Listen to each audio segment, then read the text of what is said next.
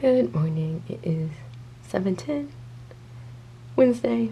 Top is from Macy's and then this skirt I've had it for so long I don't remember where it's from and these leggings are from The Gap, no, Forever 21. They're cropped so I had to wear these. I wanted to wear my Uggs but they're too short. it is extra cold outside today in the 20s. So tired. The same thing that happened was that last week happened again. I woke up extra early and was awake for like two hours before I ended up feeling better. But today, some of my students are going on a field trip, like four of them. And then there's another trip that's happening too, that one is going on. So five of my students may be I don't know how long the trips last though, so they might be back by fifth period.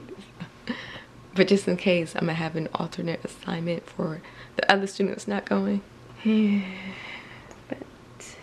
about to head out and I will talk with you guys later. All right, so it is 11.01. I still got about 40 minutes on my planning period. I just went to print and make some copies, but two students from my third, second period were absent, which was nice. One student I didn't think would ever be absent. so it was nice and quiet and calm.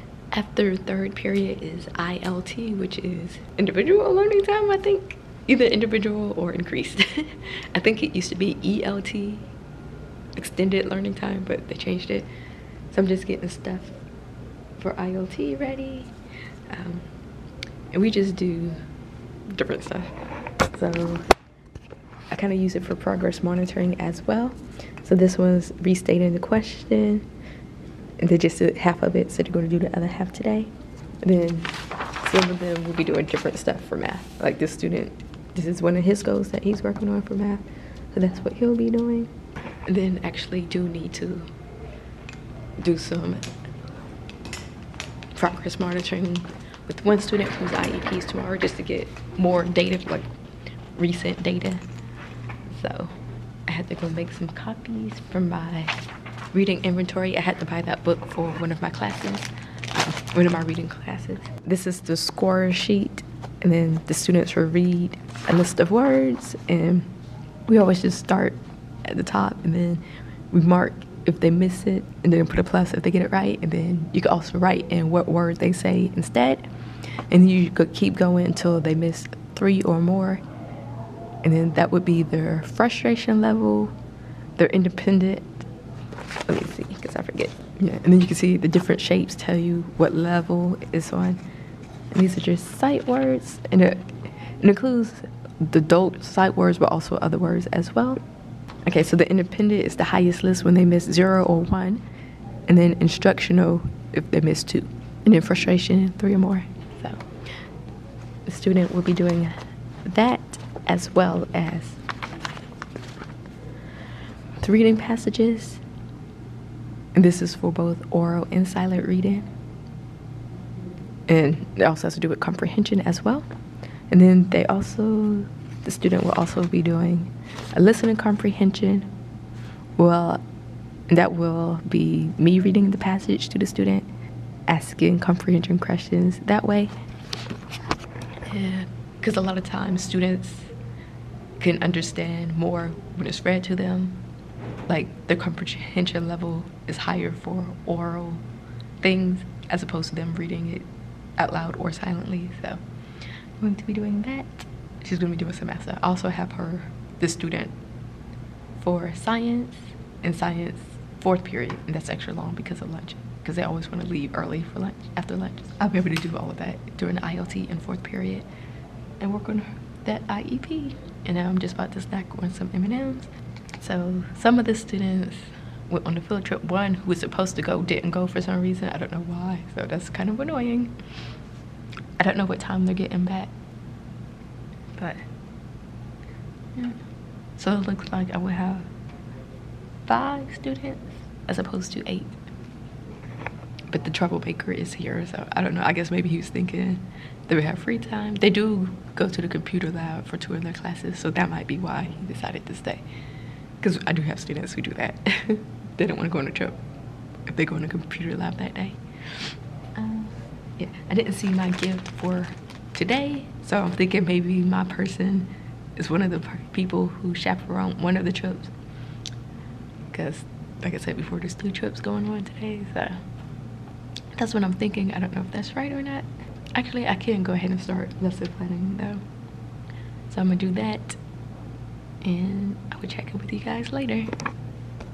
All right, so it is 7.19, just got home a couple of minutes ago and I've already warmed up my dinner. It is the third meal from Blue Apron, which was that noodle meal. I forget the name of it, but it has mushrooms, bok choy, and an egg. It's supposed to be a soft boil, but I did like a medium boil. And I forgot I'm supposed to put some sesame seeds on it as well. Grab those. I'm so glad that I have a meal that's already cooked because I couldn't imagine coming home this late having to cook something. yeah. So dance practice went a little over because they have to learn three different things to do on Friday. Not Friday, Saturday. So we actually didn't practice the dance for Friday, which but I mean, for the most part, they know it. They just need to clean it up a little. Yeah. So, yeah. So they just basically started learning the three dance. That's what we spent most of the time doing. Um, she was supposed to have somebody come in and help, but that person didn't show up again. So she's like, we're just gonna have to come up with something on our own, I guess. But overall, today was an okay day.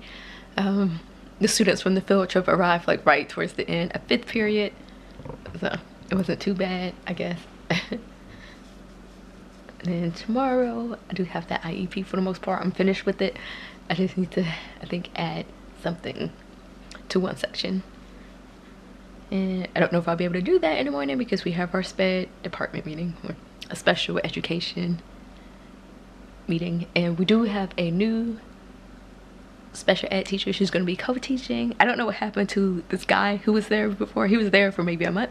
Don't know what happened to him. I did see the counselor. Yeah, but I think that is going to be it for today. I just want to eat, then edit this video and go to sleep because I have to get up early to meet with my trainer. Not sure about Saturday um, because Saturday school. I'm thinking the performance will probably be in the evening I don't know. Because she was saying she would hope that they'd be able to practice at the church. And she said that would be in the morning if they were able to. I'm guessing it's either afternoon or evening time. So more than likely I should be able to attend. And once that IEP is over tomorrow, done until the new year, they can have two. Well, actually I might need to do three in January. Two in February. Some of them though will be students that I actually see. So that helps a lot because I'm already having I'm already collecting data from the stuff we do in ILT. It just makes things easier when you can see the student. Think tomorrow we're gonna be talking about ISS, in-school suspension and out-of-school suspension and a case study because once a student gets a certain number of days, you have to do a case study on them to determine if they need an FBA, which is a functional behavior assessment and or a BIP or behavior intervention plan. So and none of us know really how to do that because I'm quite sure we had lots of students last year who went over the limit but we never received that information we just started getting it this year so I wonder if that new teacher is going to have a caseload she should that's something to I guess bring up tomorrow in our meeting because we had a teacher last year who started mid-year like around the same time actually and she ended up having a caseload. I need to go ahead and put my gift for tomorrow in my bag because I know if I don't, I will forget. So let me go ahead and do that. Um, might see if I get a teacher on a different hallway to give the gift just to kind of throw her off maybe. Thank you guys for watching this vlog and I will see you in my next video.